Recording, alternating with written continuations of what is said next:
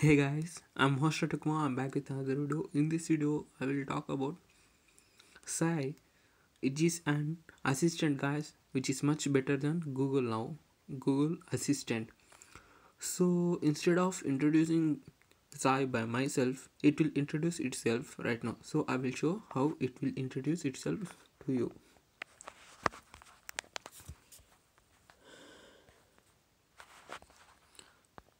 Yeah.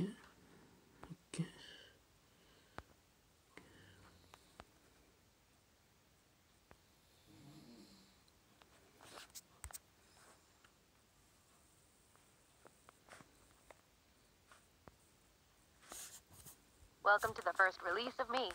Say, to stop this tutorial, you can tap the notification in the status bar at any time. Otherwise, sit back, relax and let's take a look around. First place we'll go is the command list where the inbuilt structured commands are detailed. I'm going to give you 30 seconds to memorize them all, and then we'll start the test. Go.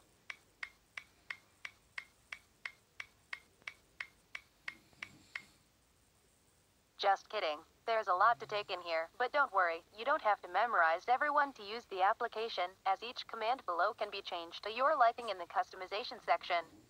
You can float this command list anytime you need a reminder of what to say. You can do this by simply saying float commands, and this box will appear. You can tap on each command for an explanation and example usage, and it can be a resized and moved around the screen, so it doesn't get in the way too much. Okay, let's try a command or two and I'll show you what Google Voice Recognition is sending back for me to work with. To activate me from anywhere on the device, simply tap the notification in the status bar and start speaking when the device beeps or vibrates. Shortly afterwards, a listening notification will appear in the status bar. Starting to speak too soon is a common reason users get poor results.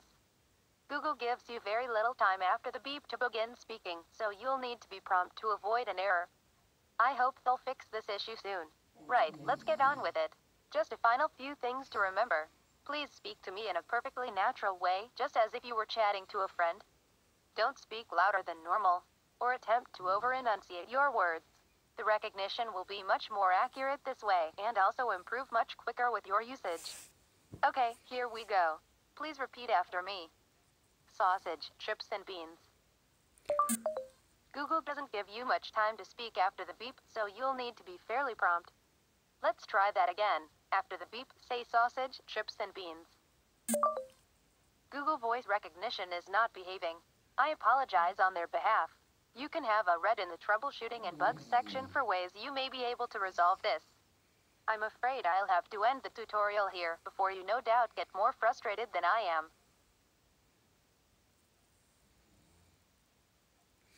So since DU recording, I mean it's using mic, so this app can't access to mic.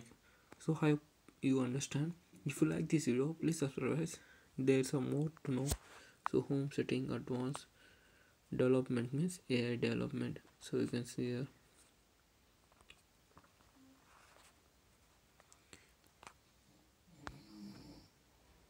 So you can see everything.